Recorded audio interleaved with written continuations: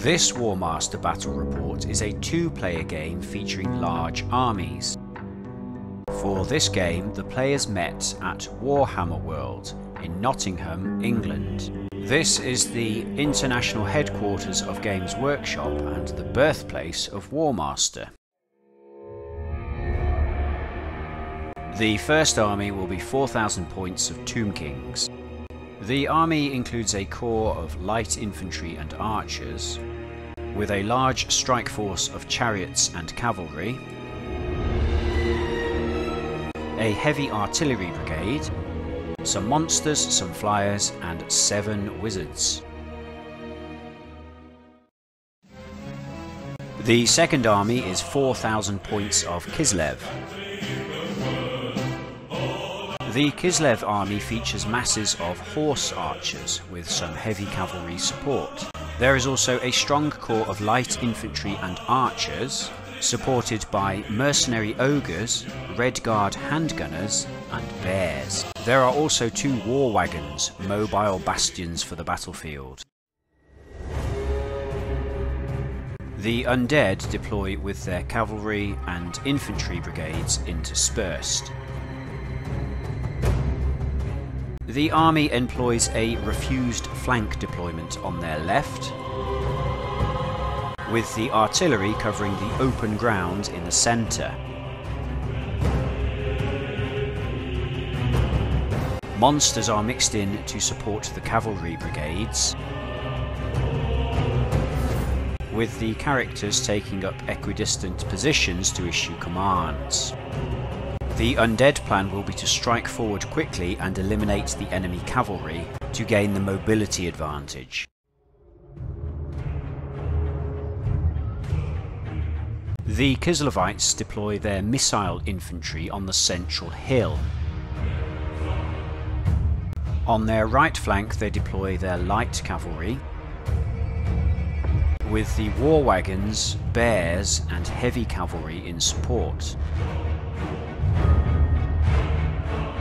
The Kislevites' left flank is held only with light cavalry. The Kislevites have opted for a broad line deployment. The infantry can hold a defended position on the central hill and oversee the main battlefield. The main Kislevite strength is on their right flank where there is another open avenue of attack. If the Kislevites can lure the undead cavalry out of support range of their infantry, they can spring a trap and remove the enemy's punch.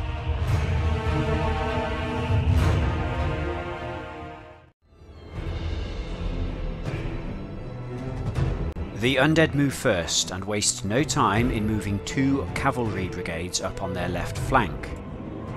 Undead characters and monsters move up to support the undead cavalry attack on their left. In the centre, chariots and cavalry advance to cover the open ground with artillery in support. The undead infantry remains in defended positions this turn.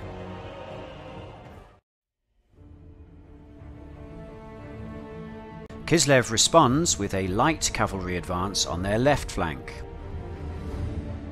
On their right, Kislev advances light cavalry, bears, and war wagons, which enter lagered formation.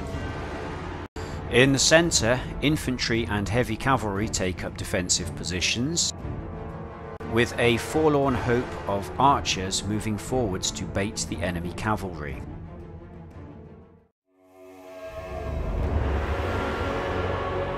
The undead respond with a cautious cavalry advance in the centre, but on their left, the undead successfully order a massed charge into the waiting Kislevite unit. Bears and horse archers are charged by undead cavalry and chariots. As the horse archers stand and shoot at their foes, a unit of raised dead is summoned, blocking the horse archers' retreat, whilst a second unit of raised dead assault the bears. In combat, the bears lose three units, but the war wagons easily repel the undead advance. The horse archers have also taken heavy damage, but the undead cavalry assault is blunted. The Kislevite Forlorn Hope continues its advance at the centre of the board. On their right, vengeful Kislevite cavalry units assault the undead. Whilst on their left, the Kislevite infantry make a cautious advance. The battle lines are now within striking distance of each other. The Kislevites successfully break up the undead cavalry brigades but are unable to destroy them. The undead order a Sphinx to go and hold the extreme right flank to prevent Kislevite cavalry sneaking by. In the centre, the undead send a Bone Giant and cavalry unit to attack the Forlorn Hope, whilst on their left the undead continue to attack the Kislevite units. In the centre, the coordinated undead firing line destroys two unengaged units from the Forlorn Hope. Some raised dead are also summoned to attack the Kislevites. On the undead left, more dead are raised into combat, finishing off the remaining Kislevite light cavalry units. The remaining undead cavalry then fall back, leaving their raised dead units to hold the line. The Kislevites launch a counterattack, sending their infantry on their right to attack the raised dead. Elsewhere, the Kislevites generally hold position, although some infantry charge forward to attack the raised dead in the centre. A freeze spell brings down the undead bone giant this turn, whilst light cavalry move up on their left to challenge the Sphinx. A no man's land has now developed in the centre battlefield.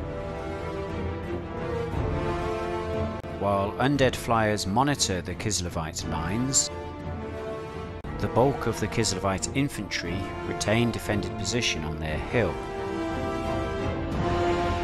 In order to win, the Kislevites will have to commit their infantry reserve, which is currently under bombardment from the undead artillery. On their right, the Kislevites destroy all the raised dead, but fail to destroy the cavalry. On their left, Kislevite horse archers drive off the Sphinx, wounding it in the process. In the centre, the raised dead are destroyed by Kislevite infantry who fall back in good order.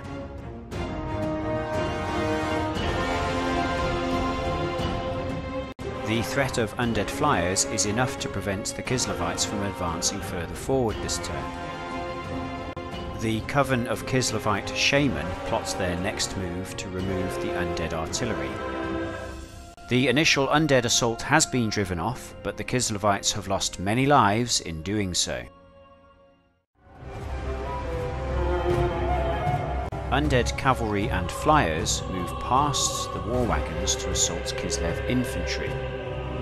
A bone giant spots Kislev cavalry trying to sneak past his position on the high ground. The monster leaps down from his vantage point to attack the Kislevites whilst a Sphinx blocks their retreat.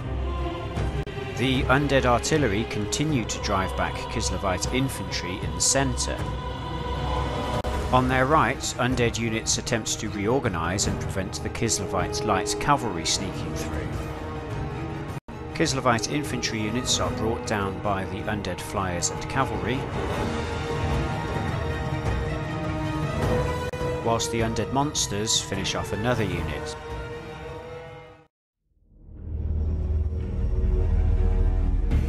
The last stand of bears charges recklessly into the undead cavalry this turn. Kislevite light cavalry advance up the centre but cannot charge their enemy.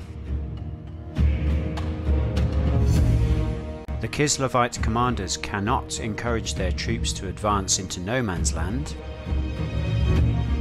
in combat, all the remaining Kislevite infantry on the right flank is killed off. Only the war wagons remain on the Kislev right to hold back the undead tide.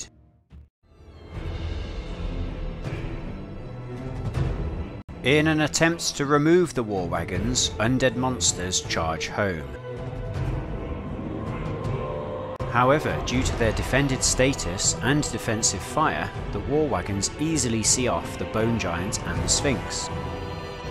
The undead monsters are forced to fall back and seek easier prey elsewhere.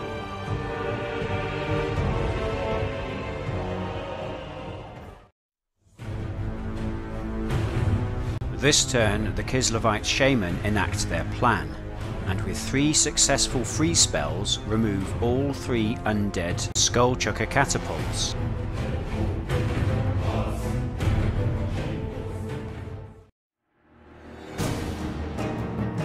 Without their long-range artillery, the undead are forced to order a general advance in the centre. On their left, undead monsters go hunting Kislevite cavalry, whilst the undead cavalry falls back. On the right flank, carrion charge into horse archers, whilst raised dead are summoned behind. This spells doom for the horse archers who are wiped out. On the left, despite more raised dead adding to the Bone Giant's combat, he is forced back by the Kislevite cavalry. The Winged Lancers immediately countercharge the Bone Giant and raised dead, whilst fire from the war wagons wounds the nearby Sphinx. The winged Lancers destroy their opponents in combat and advance into the Sphinx, killing it as well. Whilst the Kislevites have endured so far, they are very close to breaking. Will they survive another turn?